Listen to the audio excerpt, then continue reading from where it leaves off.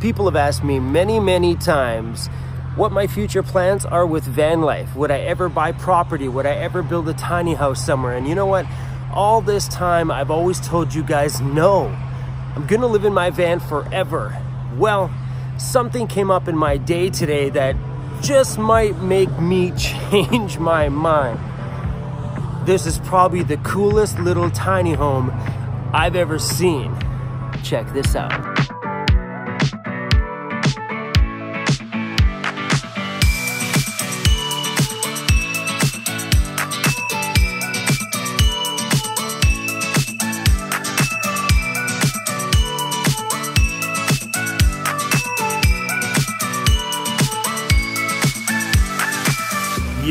How awesome would that thing be?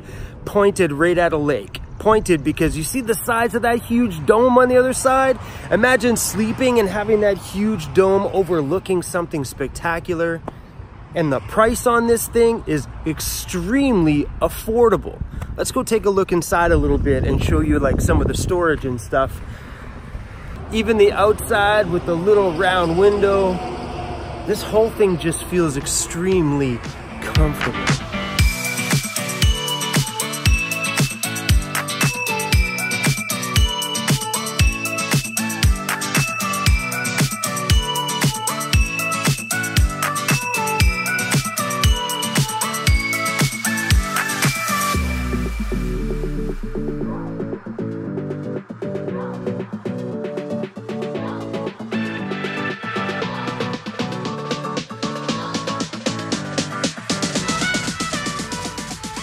Everything in here was extremely well thought out. That massive dome window on a platform that would fit a king size mattress. Some storage containers on either side there for little night tables. So awesome. These benches fold up, giving you lots of room for extra storage. Underneath the bed is one huge, huge area for extra storage, which is awesome. The part I thought was cool is the table here actually slides right in underneath the bed, opening up this entire area. Just freaking awesome. What's really appealing, besides just the weirdness and the awesomeness of this entire thing, is the price. Just as you see it as it sits, including the weather wrap and stuff like that that's on the top, all of the work that's done inside for $17,000 Canadian. Yeah, I think that is pretty freaking cool and what a rad price. If you're just gonna buy a small piece of property and pop this little tiny home on it, boom, done deal.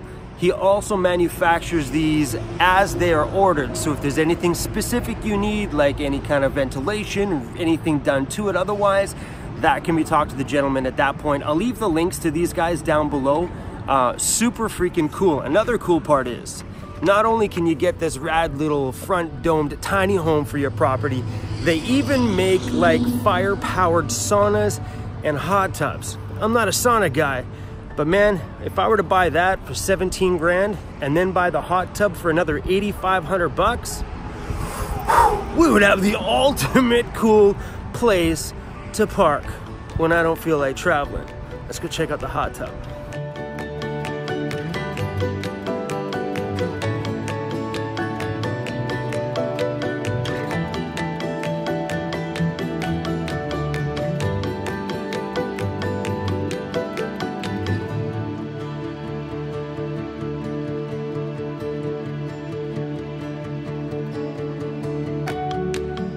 Picture this. The snowflakes are falling and you don't really feel like adventuring around in your van, so you pull up to your little tiny home by the lake and you fill this full of lake water and all of a sudden you just got this super warm. Oh, could you imagine how rad this is? And they also make the same size round little cylinder for a sauna. I'm not a sauna guy, so this is not something that really interests me very much. But if you are, then this is pretty freaking cool.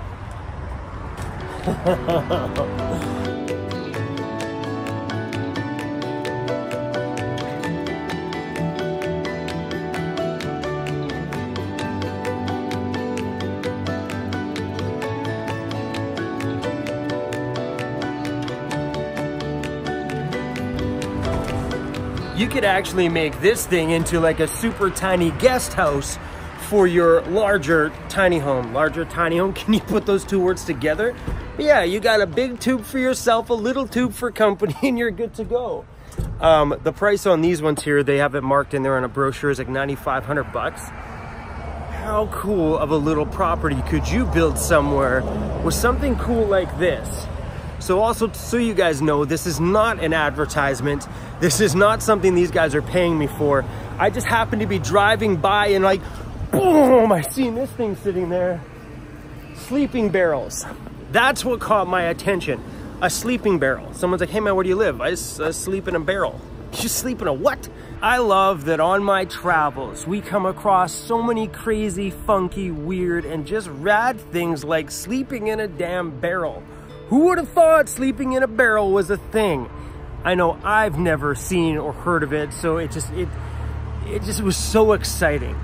And it got me thinking about my future. What am I doing in van life? Is this gonna be something I'm gonna do forever? And I know in previous videos I told you I am never, ever, ever gonna stop van life. And that is the freaking truth. I will stop living in a van the second they take my license away saying, Chrome, you're an old man now. No, you can't drive no more. So on my last trip, I was driving up the number three highway towards Osoyoos and I came across this place called Sunshine Valley. It was beautiful. Mountains on either side and I pulled into this little town and there was tiny, these tiny little bungalows all over the place, like kind of little mini tiny homes scattered amongst other medium-sized homes. And there was a whole lot of for sale signs and everybody's yard had a quad, a dirt bike, or some kind of a four-wheel drive vehicle. And turns out that whole area is a 4x4 adventure area. That's what that place is. It's got tons of trails. And I'm like, oh my gosh, oh my gosh, oh my goodness. If I ever hit the point that I can't drive, that's the kind of place that I want to go. But that got my mind rolling. And then today, running by, sleeping in a barrel, really got me thinking. Disc disclaimer, is a disclaimer? I am not I am not quitting van life, okay? And it's gonna be a long time before I ever buy a piece of property. Probably another 10 or more years down the line. But it's things like that alternative living, like sleeping in a barrel, is what would inspire me to take that step in just say 20 or more years. Because at that point, I'm gonna be 60, whoo, I'll be 65 in 20 years, 64. Whew that's crazy to think about. But I plan on taking all this money that I'm gonna save over the next 20 years of not having to pay rent and buy myself something weird. Go live somewhere doing something just totally off the beaten path, you know what I mean? Like when you come over to my house and my bedroom is in one tube. Yeah, and then I have another tube just for, come on, I'm getting out of hand here, but I have all these tubes rolled up and it's got all my little stuff I'm gonna need. I got a music studio in one tube and uh, just the options for for the future it just feels so wide open for me for the first time in my life because when I was stuck working the nine to five grind and paying that high price rent I didn't feel like my future had options but today I feel like the world is out there. The world is out there for me to just go take what I want, do what I want, be what I want to be. And I've got van life to thank for the opportunities that are coming towards me right now. Because I wouldn't be debt free if it wasn't for my van. And that changed everything. I would have never in my life pondered buying a piece of property. And I'll tell you something, I guarantee you in the next 20 years, if I happen to drive by this perfect spot and the price was cheap, I'd build a little mini tiny home place for me to go home to once in a while and you know, maybe a little place that my daughter would like to go visit with her friends when she gets married and she gets older. She's like, hey, we can go stay in my dad's tube. anyway, just sharing some thoughts with you guys that I just seeing that sleeping barrel was just inspired me today. I just love it when people build obscure and crazy things like that. So high five to the guy who's building those things. Um, sure would have been nice to meet you today, but maybe on another chance we'll get a chance to dive into you making one. So yeah, so the, hey, sorry, I'm getting excited again. So if the guy who owns and makes those tubes is watching this video, please, if you are building one, I would feel honored to come out and film some of that build with you guys because I don't know, I just think what you're doing is super cool. It's super weird and I love weird things. We all love weird things. We're a bunch of weirdos in this world. Anyway, just wanted to share my thoughts with you this morning. Look at this. I am sweating. The temperature today is supposed to be 29 degrees Celsius. See that sweat drip? Welcome to summertime, baby. And if you're new here, welcome to Vancity Vanlife.